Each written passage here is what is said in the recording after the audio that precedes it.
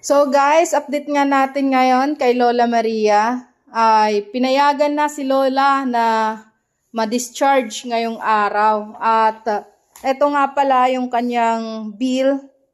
Ang total ng kanyang bill ay 2,000, 2,000, 25,996. Pero, nakaltasan yan dahil senior siya, ayan, may kaltas sa senior at may kaltas sa kanyang PhilHealth. So, ang kailangan na lang bayaran ni Lola, ayan, yung amount na yan, 8,577. Ayan na lang ang babayaran natin, Lola.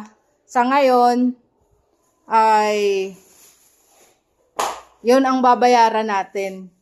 Ha? At, uh, plus me- med- medicine nyo pa na irereseta ng doktor bago tayo lumabas.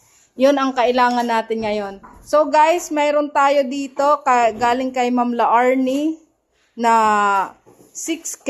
Ngayon, ang ang kulang na lang ay 2.5 nga mga ganon. Ganon ang kulang. Kaya yan ang babayaran natin ngayon, Lola. Ano? Oh, ayan ang resibo nyo.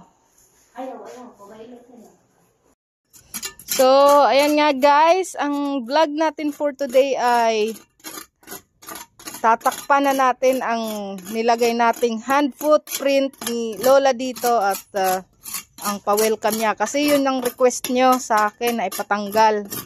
Kasi baka yan ang nagpapa-welcome sa mga masasamang espiritu at mga taong gustong uh, naiinggit kay Lola. Mga walang magawa. Ayan. Anuhin na natin yan. Buburahin natin yan. Hindi na sila welcome. So, ayan nga. Tanggalin na natin yan. Para pag uh, labas ni Lola, ay talagang maging okay na siya.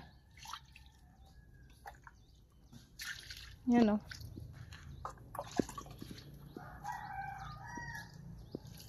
Sab.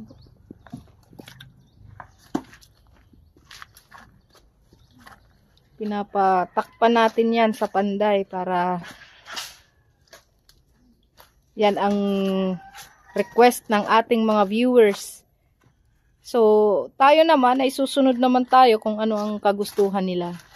Kaya, kung may mga request pa kayo, sabihin nyo lang. Kasi, hindi, hindi ko man kayo ma-replyan, nagbabasa tayo ng comments. At kung ano ang makakaganda, yun ang sinusunod natin.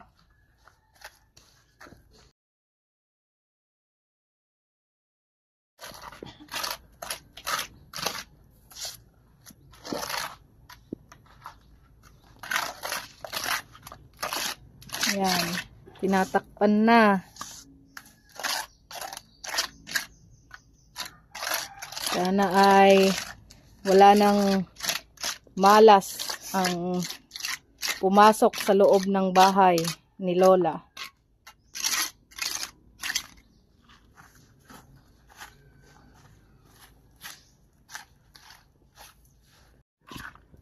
So, ayan nga guys, natakpan na ng tuluyan ng ating nilagay dyan na hand footprint ni Lola, pati yung sulat na pa-welcome dyan sa kanyang bahay.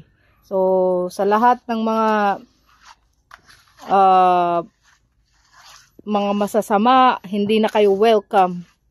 Mga kabutihan lang ang welcome sa bahay ni Lola. So, ayan, puwera usog na naman.